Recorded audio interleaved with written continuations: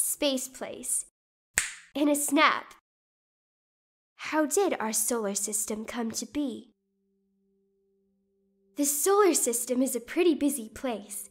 It's got all kinds of planets, moons, asteroids, and comets zipping around our sun. But how did this busy stellar neighborhood come to be? Our story starts about 4.6 billion years ago with a wispy cloud of stellar dust.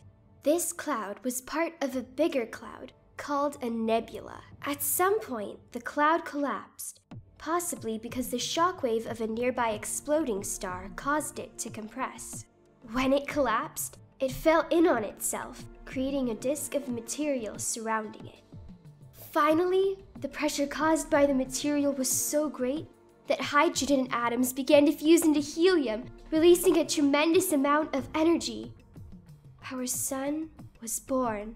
Even though the sun gobbled up more than 99% of all the stuff in this disk, there was still some material left over.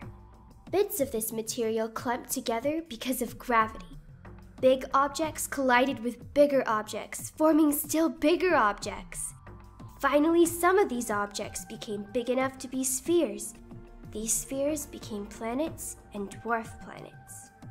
Rocky planets like Earth formed near the sun because icy and gaseous material couldn't survive close to all that heat. Gas and icy stuff collected further away, creating the gas and ice giants.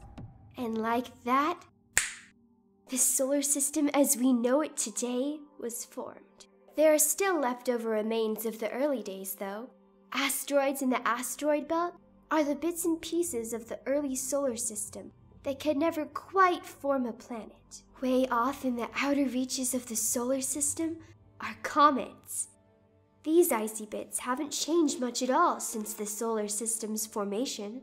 In fact, it is the study of asteroids and comets that allows scientists to piece together this whole long story. Brought to you by NASA's Space Place.